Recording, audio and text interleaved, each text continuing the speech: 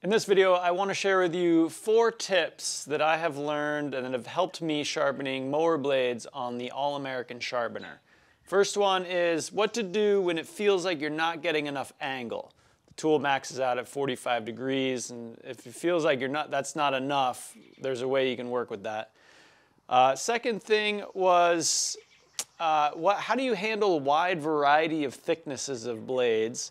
Another one was a quick way for blade thickness, blade height adjustment so, uh, in the clamp.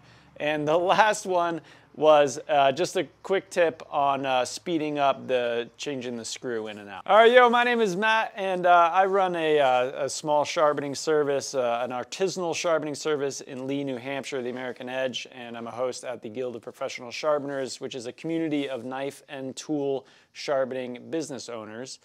Um, and I've been, uh, I've been using, I, I, started out sharpening mower blades, like first I started out sharpening residential cutlery.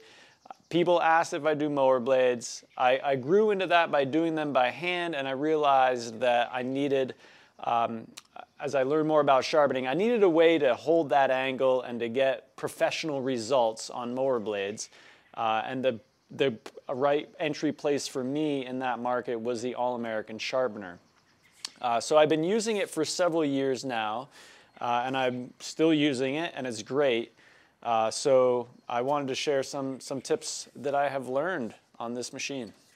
Yo, and uh, in case you missed last week's video, I just want to make sure you know that I will be giving one of these away uh, at the end of May 2022. So to be entered into that drawing, become a member of the Guild of Professional Sharpeners in May, and you'll automatically be entered. That is at guildofsharpeners.org. Okay, first I'm going to assume you, you know a little bit about this machine, but uh, so I have a mower blade clamped up in here now. Uh, the angle control is back here, and you, you can adjust the angle like this, right? And it maxes out at 45 degrees right there. Um, it has happened on occasion where you go to put your grinder on here and you, you touch the bevel and you're not getting it yet. Meaning like you're, you're, the grinder is hitting on the shoulder and not reaching the edge. So that might want you to like, you'd want to ask for more angle, um, but there isn't more to get. So how do you handle that? There's a couple things you can do. First off, I reached out to Denny about this and, and they, they checked that mower blades like the manufacturers don't make them with a greater than 45 degree angle. So some things going on, and I believe that. Uh, some things that are possibilities there is that somebody sharpened it before by hand and it went to an angle that was not factory. Uh, another option could be that the mower blade hit something and is bent. Um, and so you'll probably, I feel like I've seen some of those. Um, but still, like if you still want to try to match that angle, so right, one solution is just grind it at you know 45 degrees, put a new bevel on there. No, nothing wrong with that. Uh, another option could be, uh, so when you, this is designed so that the the center of the wheel should be at the edge, center of the wheel at the edge. What you can do is cheat over a little bit. So you can adjust this screw right here back this out, and you, as you slide your grinder this way, you get a, you get a, um, a, it would be a steeper angle, right? And if you come this way on the blade, you'll get a more shallow angle. So it's designed and you know mathematically figured out so that it's the, the wheel should be centered. You can cheat a little bit, slide this over to get a little bit more there. All right, and if you're still, if you still like are determined that you want to get that angle, what you can do is loosen this up a little bit and, and shim this shim this side up. So back these up, stick a quarter or something in there, and uh, you can shim your blade up a little bit to get even a little more. You shouldn't have to do that, uh, or just be, you know, have some confidence in grinding it at the angle that, that you get.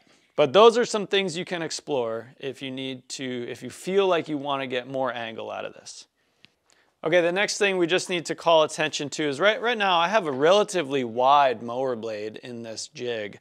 Uh, so uh, what about like when you get a, a, narrow one? And I just want to make sure you know, like you can, you can back this out. All right, that's relatively wide.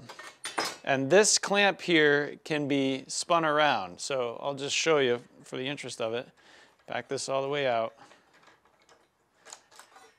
You can spin this around, send it back in the other way, and now you can get a much more narrow mower blade clamped in there, right? So the, the clamping screws are just favored to one side.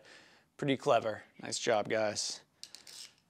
That should, I've never not been able to clamp a mower blade in here. Okay, the next thing is um, a lot of mower, like there's so many mower blades, man. Uh, sometimes this is actually, it's, it seems thick, but it's actually relatively narrow uh, on the jig. Sometimes they're thicker than that. Um, and the tool has nice versatility to grab any thickness uh, material by the use of these uh, shoulder screws.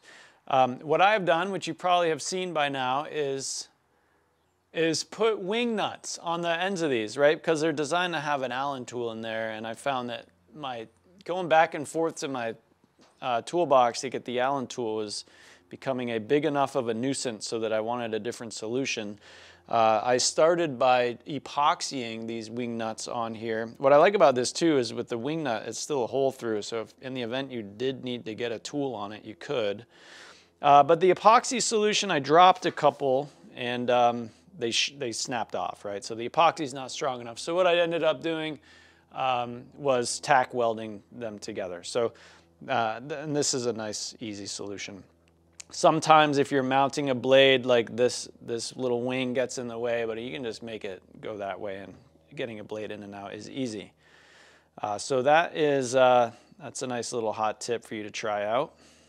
All right, and uh, the last one for you is like sometimes it's nice to get a little more speed going in and out on this tool. So what I ended up doing here, this was um, uh, an idea that I actually got from Denny at All American, uh, was to put this I just put a dowel rod in there. So I just drilled a quarter inch hole through the, through the driver and then put a quarter inch dowel in there. If it, it still moves a little bit, doesn't, if it gets sloppy, I'll just put a piece of like electrical tape on it and put it back in there around the, around the diameter.